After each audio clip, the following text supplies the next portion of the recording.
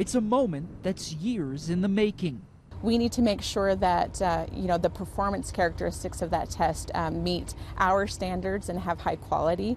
Research scientist Sonia Laulu has been working with the team at ARUP Laboratories to offer a test that detects Alzheimer's disease pathology. Amyloid PET imaging and then, you know, CSF.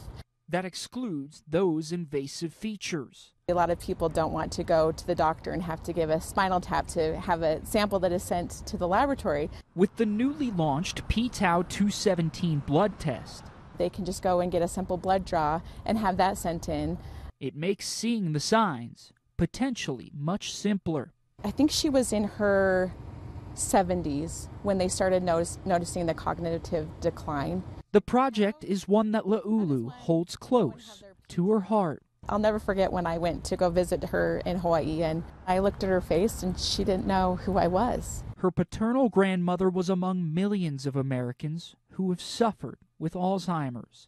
So, in her mind, every sample is a person. While this is a big step forward when it comes to detection, these experts also say it's just one of several you should take when it comes to risk reduction. Are you sleeping eight hours a night? How are you eating? What are you doing? Are you staying socially active? Are you physically active? The test is designed for those age 60 and older. Jeremy Cunningham with the Utah chapter of the Alzheimer's Association notes they can be combined with new FDA approved treatments.